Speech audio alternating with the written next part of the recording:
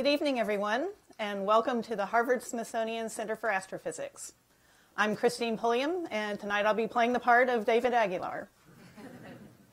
I'm a public affairs specialist here, and tonight it is my great pleasure to welcome you and to introduce this topic and speaker. First of all, I want to welcome you to the new year. We're starting up a new series of programs, our observatory nights, which are on the third Thursday of every month. We have an incredible lineup this spring, so we encourage you to join us for all of these events. We will be addressing a variety of topics. We'll have somebody talking about how it is that we are going to examine alien Earths, habitable planets, to see if they might actually be inhabited by tiny little microbes. We'll have somebody to tell us about efforts to map the universe, studying thousands of galaxies to find out their distribution and huge filaments and bubbles and voids.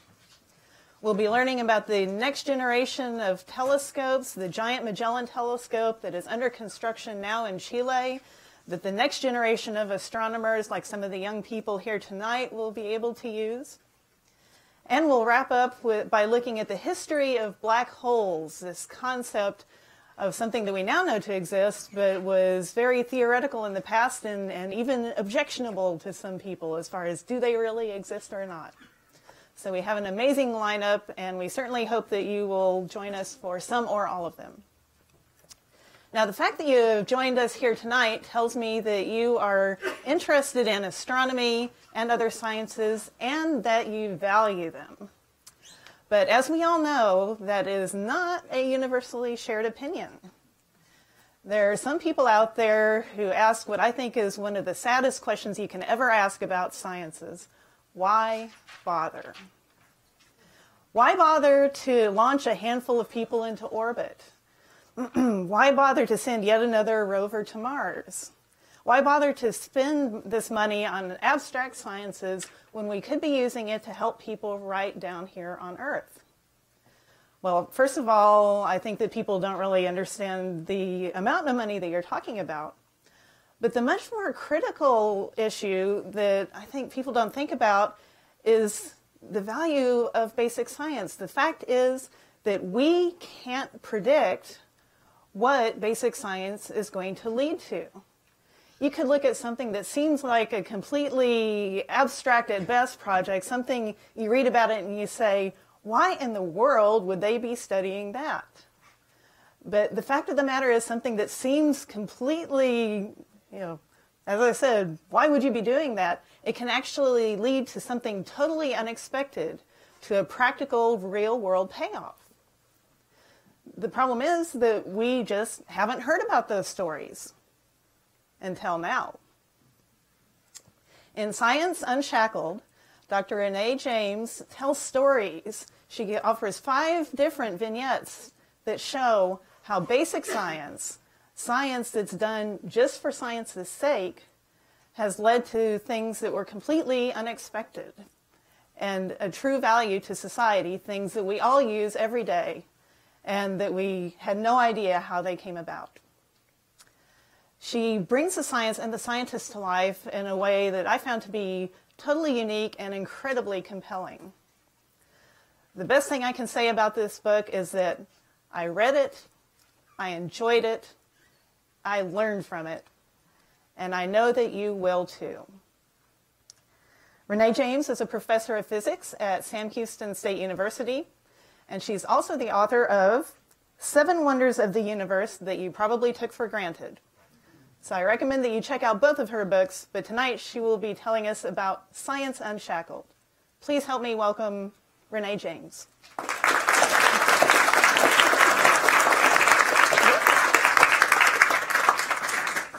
Thank you. And I really appreciate the opportunity to, to come here and talk to you guys. Uh, although I do apologize because I'm pretty sure I brought the weather. Um, in Huntsville, Texas, where I'm from, it's been basically just cold, cloudy, and precipitating for the past three weeks, and now it's sunny there, but not here. So I think that's my fault. I'm sorry. anyway, um, going to tell you a few things about, about the unshackling of science, what happens when you just let curious scientists go about their curiosity. And I'm going to give it sort of a distinctly astronomical slant because I, am I'm a trained astronomer, um, but I also figure that being an observatory night, many of you would, you know, kind of enjoy hearing about the, the astronomical portions of it. But the book goes into a, a decent number of uh, very different sciences, all the way from you know slimy yellow things in Yellowstone uh, to cone snails in the Philippines, all the way to the development of aspirin um, and and exploding black holes. So. I've had a number of people say, well, what is it that compelled you to write this book? And I had to say that it's just, you know, sort of the face palm moments of, of a few years ago that really compelled me to write this. Um, I, I have to say, there really was, there was a precipitating week that made me think, you know what, I, this has got to get out. That week involved the cancellation of the James Webb Space Telescope, which has since been reinstated. They, but July 6, 2011, Congress canceled the funding for this thing. And I was floored because we'd already dumped about $8 billion into it at that point. point, and, you know, admittedly it was taking longer and costing more than we'd expected, but that's just kind of the way it goes. Especially when things take longer, they're going to cost more. Um, and so they canceled that, and the, the astronomical community was just shocked by this because this, you know, we're talking about the better than Hubble, the BTH image, this is better than Hubble, or it's, it's going to be, ideally. it's assuming nothing tragic happens to it. At the exact same time, the Kepler mission was fighting to scrape together 80 million more dollars so that they can continue their work. And it seemed ridiculous to me that they would have to beg for the $80 million. Because this is the Kepler mission. You've probably heard of it, right? What do they do? They find planets, and they've gotten over a thousand of them. Just this last week at the AAS, they announced that they had marked their thousandth exoplanet discovery. Um, and they've even gotten to the point where you know we've got our Hall of Fame. We're not even just finding random planet. We're we're really getting picky now about the ones that are worth press releases because people think, oh, it's like 1016, 1017, whatever. You know, the number keeps going up. Um, and so this is one of the most wildly successful missions that NASA has ever, ever put together. And they had to be begging for money back in 2011. And then there was this, very last shuttle launch. Happened the exact same week that the James Webb was, was canceled. Um, now, I was about her age when the first shuttle went up. I was, I was in sixth grade. And it was the coolest thing ever. And I went, oh my gosh, I am so going to see a shuttle launch sometime before I die. Guess what? I'm still alive and I've never seen one. And I'm not going to see one because that was the last one. I never made it. And it was really annoying to me that I didn't ever get out there. So this is another make sure you do whatever it is that make your bucket list, accomplish it. Don't don't sit there and go like, well, I'll get out there eventually. All right. But what it is that really triggered this whole thing was this one comment in a news article. It was like CNN.com talking about their last shuttle launch. And, and I, I, for whatever reason, I read the comments. I don't know why I do this to myself, but this was one of the comments. And I had a number of reactions to this. Okay? And I want you to decide which is the, the right one. Okay? is. if I could find the person.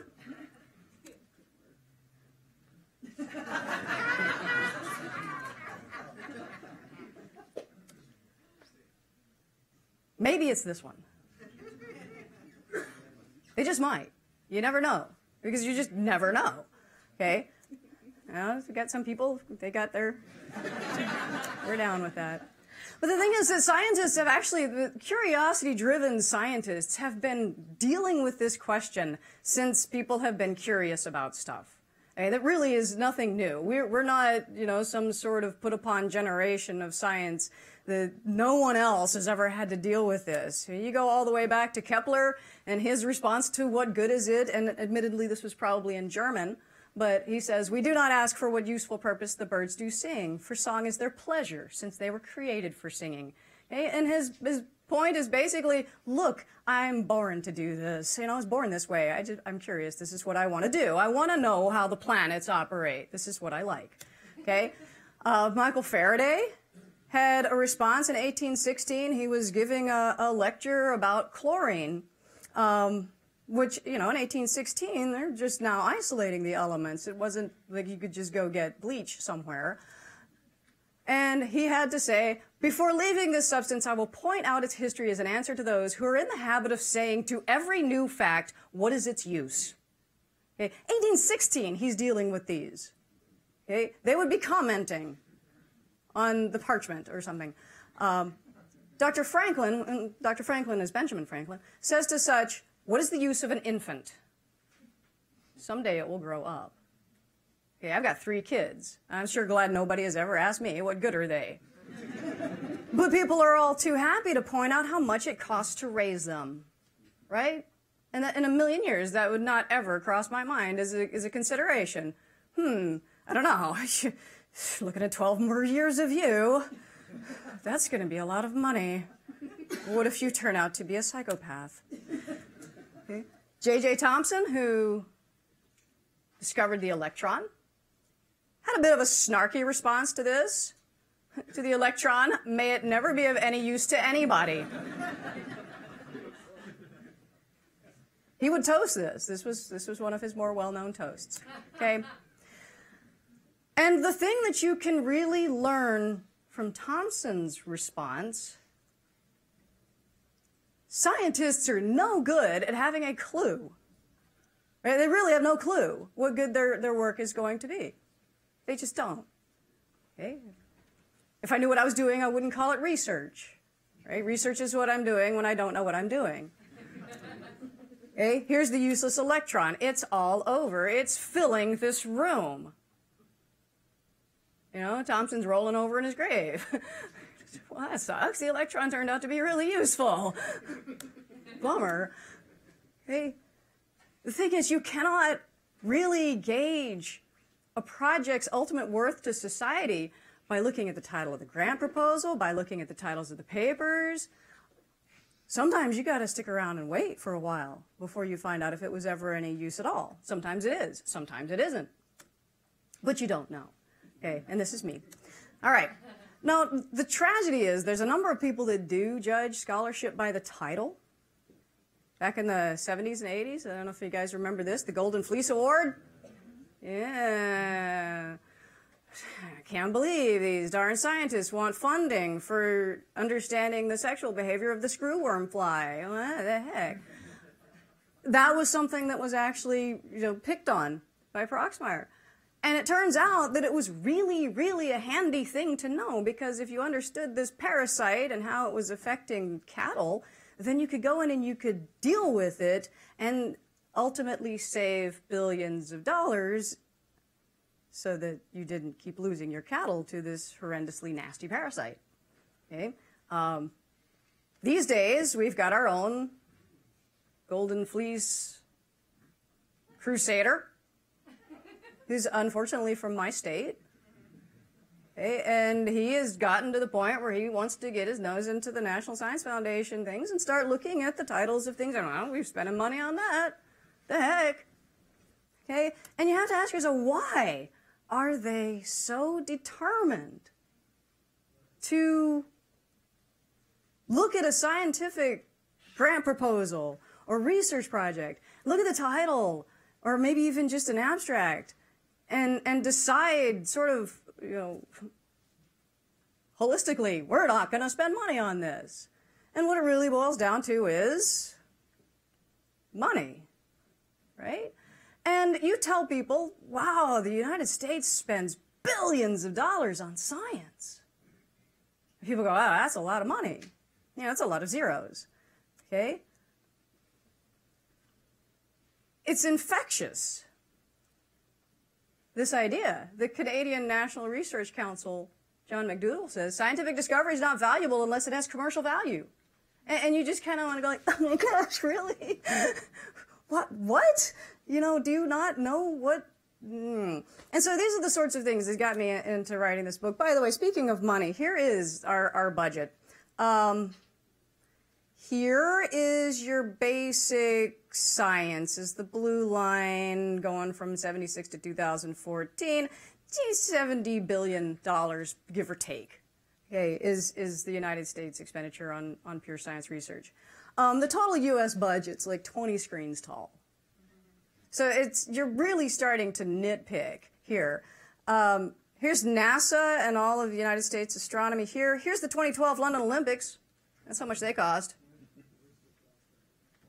Dang. and the 2024 Boston Olympics, I don't know about that.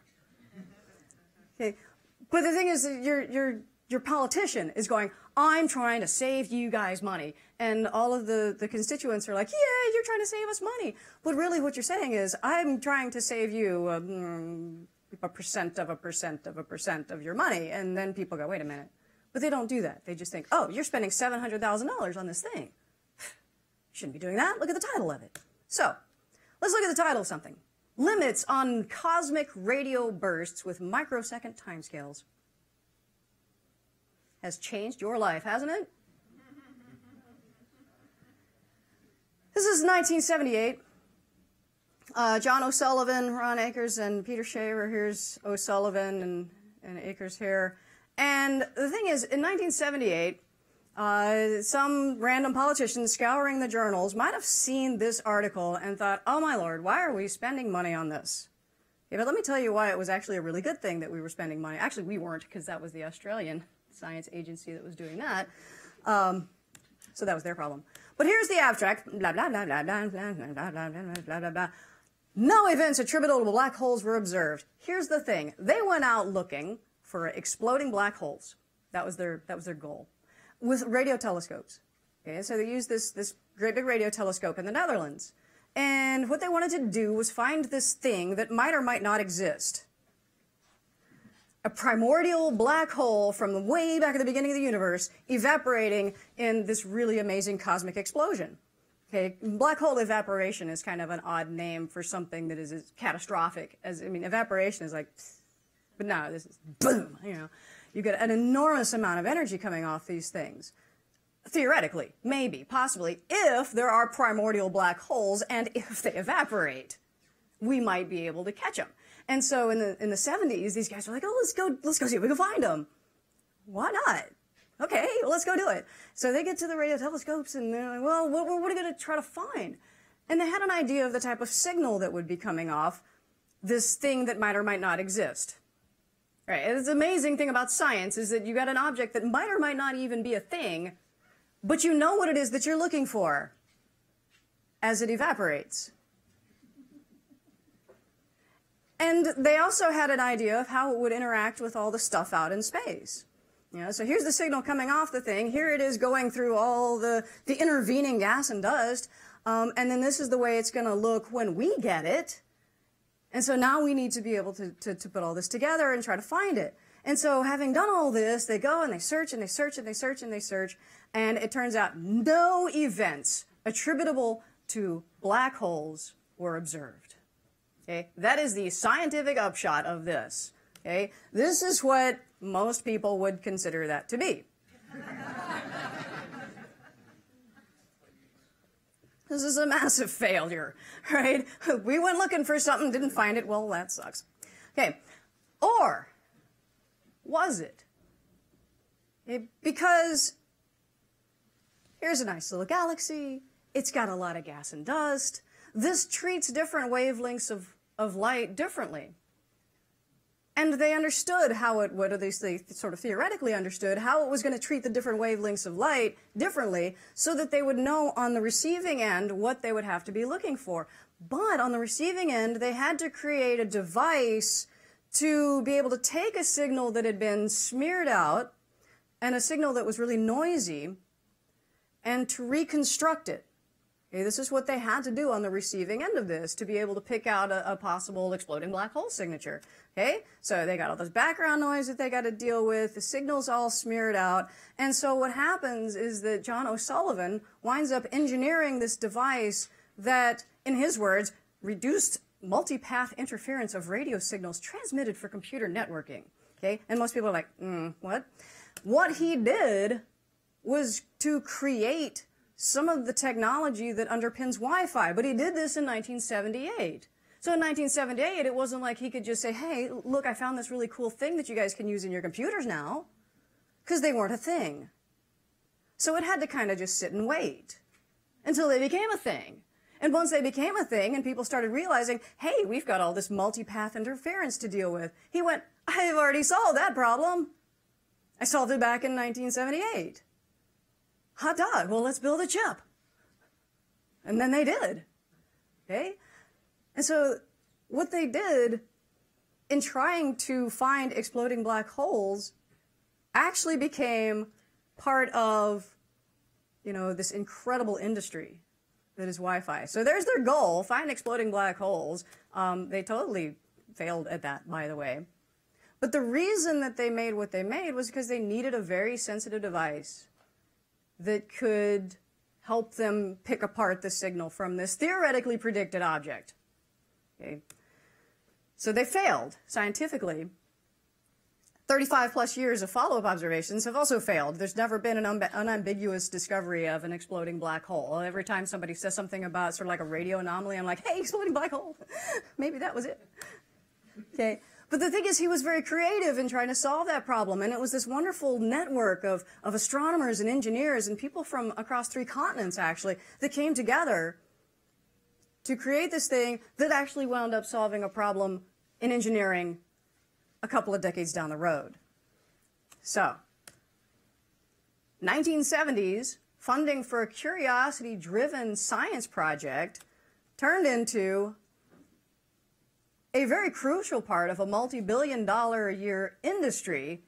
And the really cool thing for the Australian uh, science organization, CSIRO, is that they get millions in royalties now from this because they patented it. Now, there were some lawsuits going on, okay? But one of the things that, that I found as I was researching the stuff for this book, and that comes across in every single story, is that you'll see that there is this amazing interconnectedness between the activities that go on here and the activities that go on there, and, and you know the realization, hey, I can apply this to this. John O'Sullivan says that he likes to see the economy and activities as a sort of ecosystem. I love that. It's not, it's not like we started here with a goal and we wound up at that goal, but we all started out with different goals, but we all connected on them. Okay? If you cut any one of those levels back, you threaten the ecosystem. But the problem is with an ecosystem, you don't actually know how you're going to mess it up, right? Hey, let's take rabbits to Australia. what could go wrong? All right? Not all pure research activities will lead to applied research. Many applied research efforts will lead nowhere. Okay? This is something that I think uh, politicians in particular really need to understand is that a lot of times you think that you're going to be applying something, but it doesn't actually ever get off the ground. It's like a startup company. Most of them fail. Some of them are amazing, but I wouldn't ever doubt that, you know, I would never tell somebody, no, you shouldn't bother with being a startup company because there's a one in bajillion chance that it's going to ever be successful. You know, give it a shot. Maybe yours is it. Don't know. All right. Now, that was a really cool story, but here's the thing. Engineers working in communications were really, really, really close to developing that same technology anyway. It's not magic, right? It's, it's just physics. Okay? Um, and it's just uh, fast Fourier transforms, really, is what it boils down to. Whatever. I had to, I had to talk to, I didn't even know how many people before I got somebody to give me an explanation of a fast Fourier transform that didn't involve math. And it was finally a graduate student, and I loved that because the graduate students have not, are, they've not had their heads buried in the stuff for so long, they actually can think in English and, and explain things in English.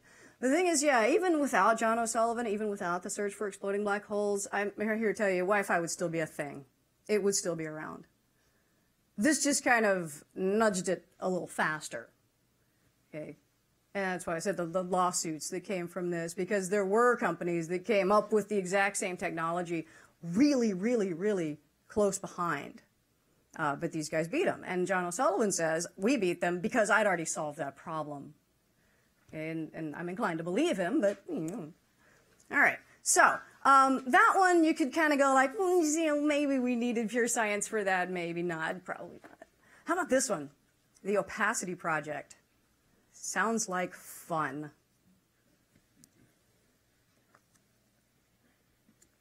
So when you say you want to be an astrophysicist when you grow up, is that because you want to estimate stellar envelope opacities and to compute Rosseland mean opacities and other related quantities? Is that what you're thinking? Cool. Well, you can join these guys. Uh, this is the, the, the current pile of people on the opacity project. Actually, it may be outdated. Uh, there may be some additional ones in there. Um, and they're all very happy people on this nice, sunny, clear day. Not here. And there are a number of people that would look at, two dozen, three dozen people who are all working on something that, let's get real. How many of you have any clue what any of those words mean? 1984, as a book. Got that one. Uh, but yeah, it's, it's really, really, really not clear what it is that you need all these people on. Okay?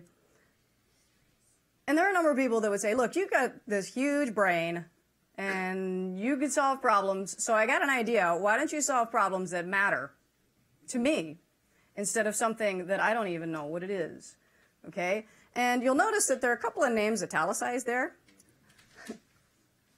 right there. Sultana Nahar and, and Adil, ah, Anil Pradhan. Okay? And I'm going to tell you why I italicized those names, but first I'm going to go way back in time and let you know what the sun is made of. Mostly hydrogen. And then after that, helium. And then after that, there's this little teeny tiny pie slice of other. And when you take that big, little teeny tiny pie slice of other and then you kind of expand that, you get oxygen and carbon and neon and nitrogen and iron and magnesium and silicon and sulfur and then it's like everything else. The entire rest of the periodic chart is like an other, other. And this is something that when I teach my intro astronomy classes, I just tell them this is what the sun is made of, and I just kind of lie and say, well, you know, spectra and stuff. But here's the reality if you want to know precisely what the sun is made of, and I mean more precisely than it's 90% hydrogen and about 10% helium, and then it's like a little tiny bit of other stuff.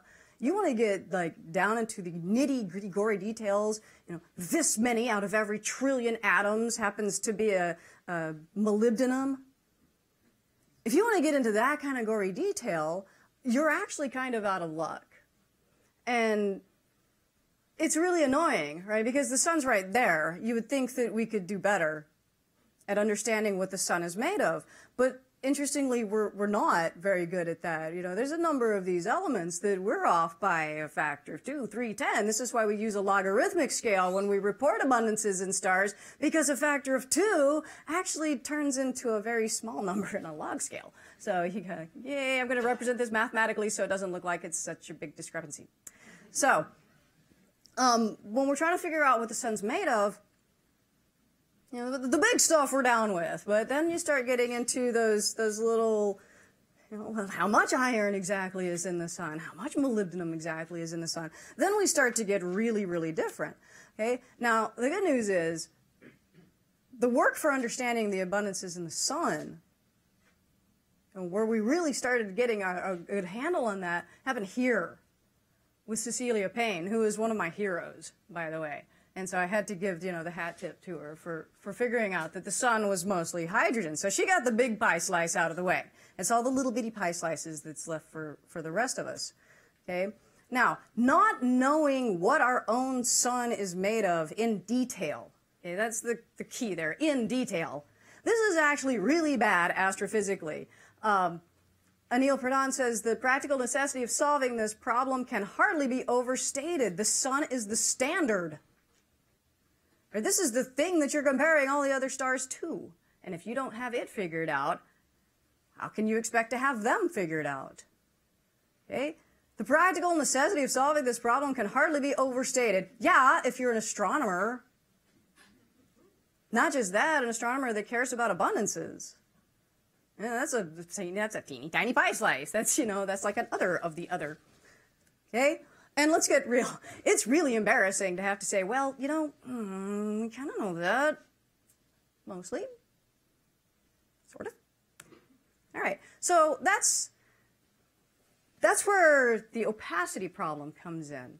Now, opacity is, you know, if something's opaque, that means the light isn't getting through it. Right? I mean, this is normal sort of vocabulary. It's the same kind of thing in, in astrophysics.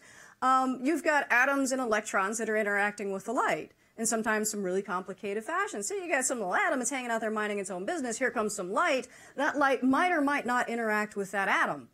And if it does, it might or might not do this particular thing to this atom. And so that atom may wind up blocking that light, uh, redirecting it, whatever. And so you wind up with opacity, okay, where this layer is not letting this light through. This type of atom isn't letting the light through. This, this free electron is running around and it, it, the light keeps bouncing off it. And so each layer of the 700,000 kilometer in radius sun is interacting with the light. Okay? This gets to be kind of problematic because the entire structure of the sun is driven by how much is the energy interacting with the stuff. If you don't understand how much the energy is interacting with the stuff, then you don't really understand the sun very well. And you can do sort of like this global sort of viewpoint. It's like, well, most of the stuff is hydrogen, so we'll just go ahead and assume that that's the only one we really need to know. Okay? And well, most of the stuff is hydrogen and helium. You know, that's your, like, so your finer approach to that. But it turns out that it's actually that little teeny tiny slice of other that has a really, really profound effect on how much the light is interacting with the stuff. So even though you're dealing with 99% of the actual atoms, you're not dealing with 99% of the way that the light is interacting with the stuff as it tries to get out. And so really you're, you're not understanding the interior structure of the sun very well. Okay? And the sun is, uh, we, it's amazing that we like to try to pretend that it's like this uniform sphere. It's a mess. Okay? It is a really awful, hellacious mess of stuff. Light being, you know, the, the energy that's being made in the core is trying to work its way out Anybody in here know how long it takes the light to get from the core to the surface of the sun? You're the only one in here. Because if you ask a bunch of solar astronomers, the number goes anywhere from like 70,000 years to not quite a yeah, not quite a million actually. Most I know Neil deGrasse Tyson said that in Cosmos, and I kept going like, no, I've never read that, and none of the journal articles said the million. Um, 70,000 was kind of the low end, but you're looking at at least 70,000 years of this energy bouncing its way around, meeting all of these different atoms, hitting them, interacting with them before it finally can get away. The really cool thing is the neutrinos are like, out of here. You got neutrinos zipping through you right now that were made in the sun's core eight minutes ago. That's freaky, right? But on a sunny day, the light that's hitting you, the sun made that energy hundreds of thousands of years ago, maybe? Right? That's weird to think about. And in that, in that interact, in, in between time, intervening time, that's the word I'm looking for, it did a lot of stuff. It hit a lot of atoms. It hit a lot of free electrons. It hit a lot of things. And that helped drive the, the way that the sun is structured right now were those interactions. And that's really what the opacity project is all about. You know, all we need to do is figure out how all the atoms and the free electrons are interacting with all the wavelengths of light, all the way from the core all the way to the outside. No problem. We're, we got this one, right? That's all. That's all you need to do. Okay, and that's why this became kind of a problem. Um, in the early 80s, there was a group that was put together. They really wanted to tackle this, and that was the Opacity Project. Uh, Michael Seaton was the one that, that put it together. He has since passed, but his, his legacy is living on. There's still an opacity project. There's even the iron project that is only looking at the way iron atoms interact with light. Iron atom. That's it. Right? Missing the other 100 plus things in the periodic chart. We're just looking at iron today. Well, this decade. All right. So all you got to do is take a whole lot of this stuff, bunch of atomic data, throw it into those things, and just keep doing it. And then see what pops out. Okay?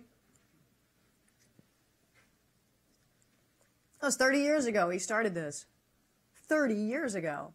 And you might be wondering, why would we take three dozen really, really, really obviously talented scientists and have them work on something like this? Seriously? Is it that important? Hey, it actually turns out that it might very well be important. You might or might not have noticed that you're made of stuff, atoms, right? Protons, neutrons, electrons. Turns out sometimes that stuff shows up where you don't want it. Okay? And if you understand something about how light interacts with stuff, you might be able to make use of that. And it turns out that the two people that I had highlighted there, Anil and, and Sultana, had gone, uh, they, they, were part of the opacity project with, with another colleague at one point, but that other colleague had dropped off and gone into biophysics and oncology, in fact. And they were still friends, and they were sitting around chatting one day, and the, the two that were still on the opacity project happened to mention, hey, we found this really interesting resonance of this wavelength of X-ray and gold. And he went, ooh, we might be able to do something with that. Okay? And so I'll explain to you what it is that, that you might be able to do. But I think everybody in here, I mean, I, I don't know anybody that has not been touched in some way or another by cancer.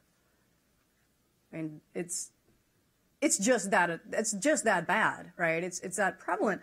And so this becomes more than just an astrophysical annoyance. This becomes a, what can we use this for? Okay? If you look at the periodic chart, we'll pick on these guys, platinum and gold. They made this wonderfully lucid paper title, Resonant X-ray Enhancement of the Auger Effect in High Z Atoms, Molecules, and Nanoparticles. Right? I, I, don't know that I even need to say anything about that. It says it all. Um, but here's the here's the basic rundown of it. There's something called the Auger effect. And the first time I read this, I thought I said the Auger effect. and I found out, no, that's French. Um, turns out that if you have, you know, an atom and you've got, you know, the various electrons in their various levels, if you fire just the right wavelength of light at it, what you could do is you can actually pop the electron out of being very close to the to the nucleus and send it on its way. Now, all the other electrons that are hanging out of that atom are not just going to sit there they're going to want to do something because they, you know, now there's a hole down there, and so they'll fall down into it. But the thing is, anytime an electron goes from an upper level to a lower level, it will release energy. And this is just the way atoms work. And so if you can fire just the right wavelength of light so that it pops this electron out of a lower level, then all these others come cascading down. And that'll have the effect sometimes of popping other electrons out or making a flood of different wavelength x-rays. Okay, so you send one little x-ray photon in and all of a sudden you've opened the floodgates and all this other stuff comes cascading out. That's the basic Auger effect. Okay, so you got the right X-ray, kicks out your inner electron, and then the others come running on down to fill in the gaps, and then you wind up with this huge spillover of stuff coming out. What that means is, if you could figure out how to take a piece of, of gold or maybe platinum, embed that in a tumor, all you got to do is fire the right X-ray frequency at it. Okay? Not the flood of, okay, well, let's hope that this kills the cancer before it kills the patient kind of X-rays. This is one wavelength, only interacts really strongly with gold. It doesn't interact very strongly with you. Okay? interacts very strongly with gold. You get that Auger effect going. You kick out a whole lot of X-rays and a whole lot of electrons in that region. And so you could have, I mean, you're still going to have, a, you know, an unpleasant experience in a cancer therapy, but it's less unpleasant than what's happening now. These days, cancer therapies are practically medieval, right? I mean, seriously, you, you put stuff in somebody and just hope to God it kills the stuff before it kills the person. Okay? And, and it's amazing to me that so little has changed. I don't know if you've ever read The Immortal Life of Henrietta Lacks. That was heartbreaking to me. And I'm thinking, oh my gosh, this surely has gotten better. But it hasn't really. I mean, in some, in some ways it has, but in some of the therapies, they're still very much the same. And you're like, oh my gosh. But this could actually, if you know, they, they, this is one of these things that this is still on the cusp, right? This is technology that they're still working on, and this is a, a project that they're, they're still very much in, in the process of working on.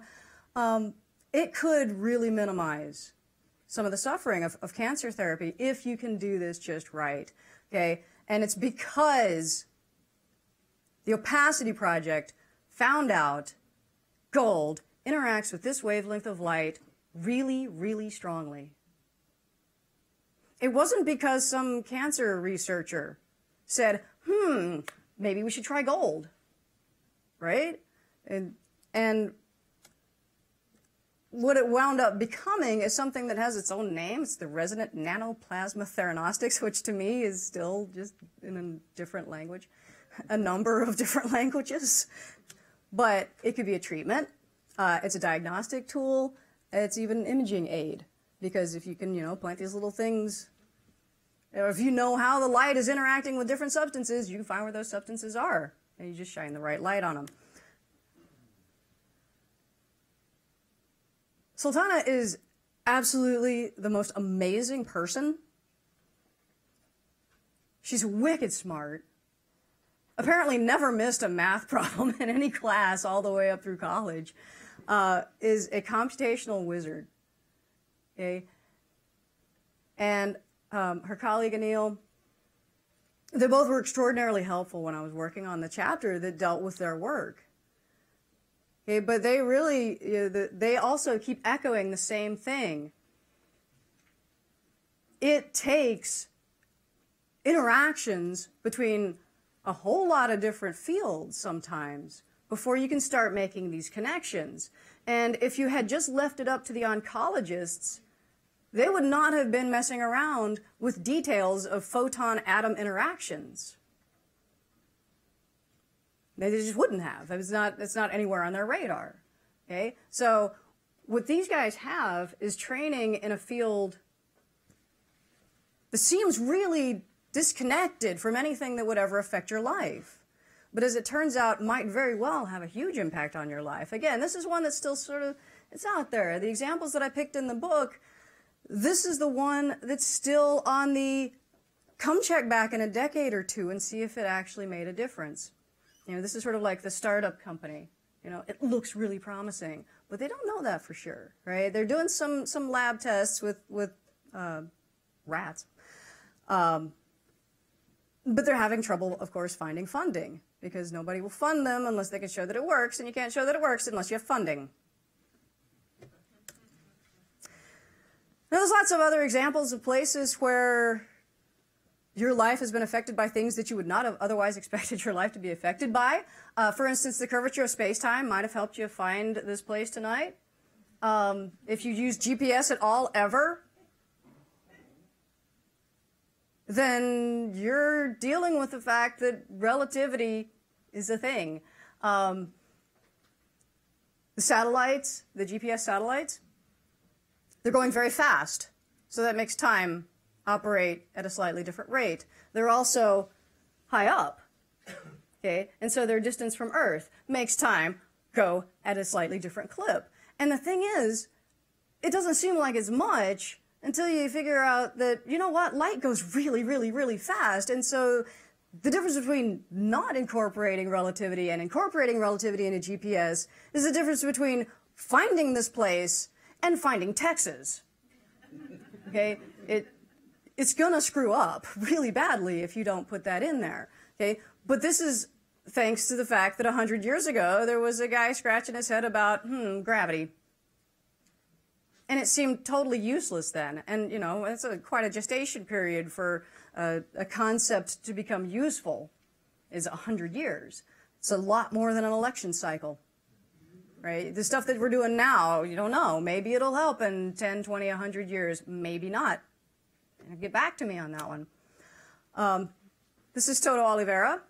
He's out at the University of Utah. His curiosity about cone snails might very well be the difference between somebody living with agonizing pain 24 7 and somebody actually having a life. Okay? But he wasn't after that. He just wanted to know what it was about cone snails that killed people. Well, he found that out real fast, actually, and it was kind of disappointing to him that he found out real fast why it is that cone snails can kill people. Um, but then he had a student, an undergraduate, that said, "Ooh, but what if we play with this? You know, what about what if we what if we inject it here instead of here on the mice?" And his response actually initially was, "Why would you want to do that?" I don't know, just cause. I have an idea. I've got two young children, and the scariest thing I hear from them is, hey, Jamie, I have an idea. Megan, I have an idea. Okay, but it's that exact kind of thing that led curiosity about cone snails to creating an extraordinarily potent painkiller. It's called Prialt, and it's apparently a lifesaver for a, whole lot of people. But that wasn't anything that this guy was working on. It wasn't where he wanted to go with that. He was just curious about cone snails, and he got students curious about cone snails. And so, you know, his curiosity was infectious, and then theirs eventually led to an amazing pain therapy.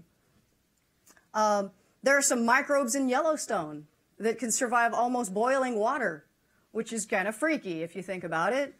Okay? But back in the 50s, nobody thought that anything could survive almost boiling water, and so things that were done with extremophiles, thermophiles, you know, these, these bacteria can live at really high temperatures, they actually did them in lab cultures and they never exceeded a certain temperature. but, you know, this one guy, Thomas Brock, just happened to be really, really excited about everything everything. Oh my gosh, the guy changed gears every other week and he taught himself German and then he taught himself microbiology and then he wrote a book in German about microbiology.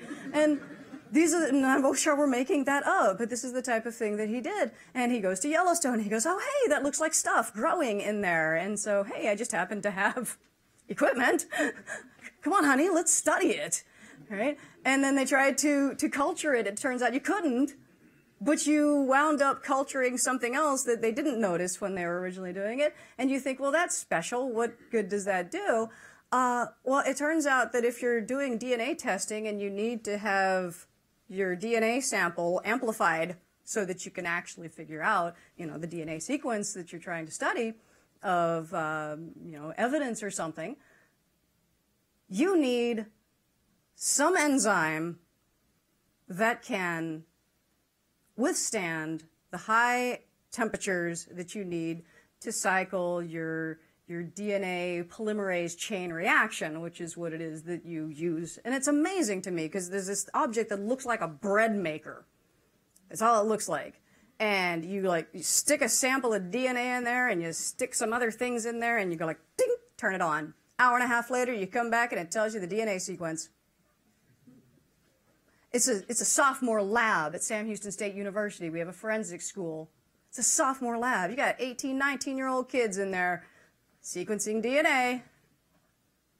Thanks to the fact that some guy saw this stuff growing in Yellowstone.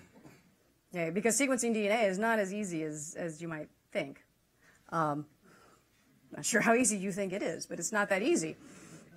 But it's possible now to do that fairly rapidly, and there is an entire uh, innocence project where forensic evidence is being used to to prove people's innocence. You know, they've been wrongfully imprisoned for years, decades sometimes. And the fact that we can now go back and do the DNA testing and say, hey, you know what? That's not that guy's, is actually changing lives there. So, these days, the James Webb Space Telescope is still a few years from launch. And there's already people saying, what good is it? Why are we dumping all this? So, like, we're packing money and, and putting it on the James Webb Space Telescope and then launching it off the face of the Earth, right? No, it's actually paying for people to, to have jobs and stuff. Um, but one of the things that it, it's trying to understand, that it's going to try to understand, is the, the whole concept of dark energy and dark matter, uh, two very different things. Why? Who cares? Well, holy cow, they seem to be pretty fundamental aspects of our universe. Anytime you get people that are digging into the fundamental aspects of our universe, something cool is going to come from that, right? Trying to figure out matter. Oh, hey, an electron. Sure hope that's never good for anything. Right? I want to understand gravity. Well, curvature of space-time. Hope that's never good for anything. I don't think Einstein ever said that, but I'm sure there were plenty of people that said, why? Why bother? And dark energy and dark matter, if we ever start to really wrap our brains around those things, I have to believe that that's going to change everything. Okay? But we won't know if we don't go looking. So, the point of all of this is you, you don't really ever know where your curiosity is going to take you. Maybe, maybe nowhere, maybe into a wall. Okay? 90% of the time, hey, Jamie, I have an idea. Leads to pain. Sometimes they invent something really cool. so, if you have any questions, you're curious about anything, and you want to know where that curiosity is going to lead, I will happily entertain them.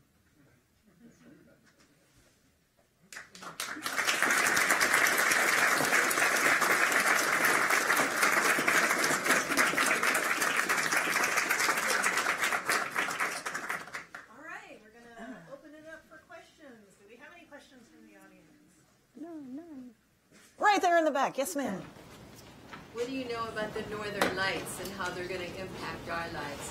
What do I know about the Northern Lights? Okay, that's one question, and how they're going to impact our lives is a very different question. Um, I mean, how it would impact my life if I ever got to see them, I'd finally be able to check that one off my bucket list because that's one of those things like the space shuttle launch, right? I, I live in, in East Texas. We don't ever get that. Um, but I, I don't, I mean, I don't know what, I'm not really sure where your question is going, but, you know, if they haven't already impacted our lives in the gajillions of years that we've been here and that they've been going off, then. I'll just share a little. Um, I understand that there are auroras on Jupiter, that they can see them. And Saturn and that they also are in the southern hemisphere as well as, Mhm. and that we're going to be seeing more and more of them, and they are going to be moving down to the more southern latitudes, and that they've only recently. I'm okay with that. You know, they've only recently sort of discovered what causes them, but they're worried that they will impact us with radiation No, see, it's not the northern lights that are going to get you, because that's really just kind of our, our atmosphere and our magnetic field getting together to say, "Hey, everybody, we're protecting you from death." It's the it's the solar wind that's going to get you. That's that's the problem. Um, but that's an interaction between, you know, the stuff streaming off the sun and our magnetic field, and then our atmosphere. Now, presumably, our atmosphere isn't doing anything, but our magnetic field is doing weird. Is is not doing weird things, but it's doing it's doing things. Um, as far as I know, nothing catastrophic is going to occur. But when the when you can see the northern lights, you know, south, farther and farther south, that means that we're getting, you know, bombarded by a pretty pretty high energy solar wind, and, and that's what that's telling you. And then when you're up in the northern hemisphere, eh, or sorry, northern latitudes, you can get power outages and you know, some pretty catastrophic things. But that's not that's not because of the aurora. That's that's because of the incredible energies of stuff that's coming off the sun. Next question. Yes, Bruce. What do you see as the impact of your book, and where would you like to see us take that? With you? Oh, um, We're marching. what is my what is my fantasy? 535 copies being sent to Washington. Um, a couple to Lamar Smith, actually, specifically. You know, and maybe a couple to Ted Cruz. What tragically both come from Texas. but I, I'm from Texas too, right? So we're okay. Uh, no, I, I mean, I would, I would love to see people realize that there's, there's far-reaching implications of science. Okay, the, the, the stuff that you're doing now might or might not make a difference, but this is true about anything, right? I mean, we saw the weird random walk of his life earlier. You know, I just happened to be in the room when the Beatles showed up. I just happened to hang out with Carl Sagan for an evening. I got Dorion Sagan to read my book. he blurbed it. I was very excited about that. That was as close as I was ever going to get to Carl. Um, but but basically, the you know one science really isn't that expensive. Not doing science is. Okay, that, that's my bumper sticker right there. Mm-hmm. And what I want you guys to do with it, you know, get on Amazon, review the heck out of it. I need to review your book, by the way. yes, sir, up in the balcony. Thank you, Christine. Arthur James, it's a two-part question. First, if we go back to your opening when you spoke about that horrific week back in July of 2010. 2011. Actually, 2011. uh, uh, 2011. But the following week, how we had the alum that was almost in office three years canceling the space, the manned space shuttle program, which you spoke about. And even last week where there was, or days ago, just a problem up the ISSO where we do not have a vehicle to go up to help out on an emergency basis, but we canceled the program.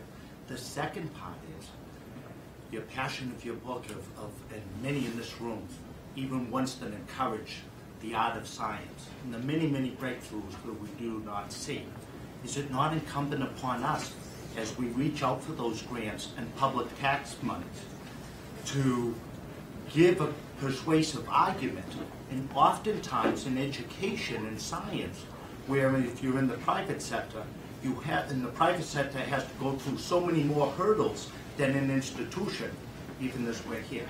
So, with that said, and for you, a proud mother and three children, Ted Cruz being in your state, there has to be some type of fiscal responsibility, but when we take it to commercial Excuse me, sir, did you have a question? yeah, on commercial value, shouldn't we look at that when breakthroughs in sciences are made on commercial value with the public tax dollars to reimburse and to pay us back to some degree? I- I'm all for your, the passion of your book and leading us into the unknown. I, I'm pretty okay. The, now, the National Science Foundation, not the not the director. Who's who's Krim? Oh, I'm not He's sure. like the physical sciences. Anyway, um, there are a number of statistics that, that show that the investment in science has returns. I mean, actual fiscal returns beyond the actual the investment. It's like sixty percent on top of that. That that that money is actually coming back. And then, I mean, no, normally if there's something that's patentable, a, a Yeah, we just can't be just open. You, you want to have uh, elected officials scrutinize those, those dollars. no, I'd rather have scientists scrutinize those dollars. yes, yes, yes. Or or more scientifically literate Yes. elected officials. That that would be another fantasy of mine. I have a quick question for you. Uh-huh. How did you choose the exact cases that you covered in your book, and how many did you have to go through to select? I I went through a, a number of things. Uh, there's a there's a scientist at Cornell that found out that there's a parasitic fly that can find a cricket, even though according to everything that they understood about how an ear is put together, even for a fly, um, there's no way that it should have been able to find it. So I mean, it, the directionality and such a tiny scale, it was it was a real surprise. And so they wound up using that in uh, hearing aid technologies. And I thought that was really a good one, except that that one didn't. It didn't go quite far as far as, as the others. You know, it was kind of it was 20 minutes, and I could have written that one out. Um, although the, the scientist that was working on that was really, really good about emailing me and explaining the stuff, and I thought, you know, I feel really bad I didn't do a chapter about you, but it would have been a really short one. Um, a number of people had suggestions, and what I wanted to do was more focus on things that we were trying to solve problem X. And as a result of trying to solve problem X, we found a solution to problem Y. Okay, and you know the exploding black hole one was like a prime example that. We developed this technology to answer this question, and as it turns out, use that over here. Um, relativity I picked because it's it's one of the ones that when I teach I teach uh, introductory astronomy classes for non-science majors, people that they don't want to be in a science class but they have to be at, at the university level, and they come in and kick and scream. And so if we ever get to things like relativity, I always get the questions of what, why are we learning this? What good is this? Okay, and so that's one of the sort of the popular what good is this ones. And I wanted to try to explain it in a way that kind of made some sense. And I think I did an okay job with that. You think? Yeah, relativity? Yeah, make more sense than anything. Um, now, originally my, my things were mostly astronomical because that's my background. And so I had to go picking the brains of all kinds of other scientists to find out. And it was weird to me how few scientists could give me an example in their field. Even, even amongst themselves, they're not really communicating that sort of thing. It's not that important. And that's something else that I think is really, really important is for the scientists, maybe not personally, but to somehow convey to the public what it is that they're doing. Not necessarily that, you know, hey, this is going to impact, I hate that, you know, broader impacts thing. I don't know what this is going to do. I just think it's cool. Okay? But at least to get out there what it is that they're doing. I know astronomy is very good at that because everybody loves it. It's so photogenic. Um, but I have a friend that, that works on graphene. And nobody cares or knows about it. You know, and, and I'm thinking, why don't you get out there and do it? And well, because we're physicists and this is what we do. Um, we really want to talk to you people. If we did, we would be doing that. So, yeah, it's it's interesting that all of these things require connections. You know, the, the things that I picked require connections between different fields before they finally get to sort of you know, mature and turn into something life changing. Uh, but it's also interesting how, how few connections are being made that could be, you know, between scientists themselves and, and between them and the public. So I don't know if I answered any question or if I just went on a little rant. But, mostly it was because these are the ones that seemed each one sort of represents a different way that science has gone from gee whiz that's kind of neat to here's something that is life changing or is potentially life changing in the case of that the last one well, at this point, I think is the perfect time to wrap up the question and answer portion of the evening. I want to thank all of you for coming, including the people who tuned in online. And don't forget our event next month. Thank you.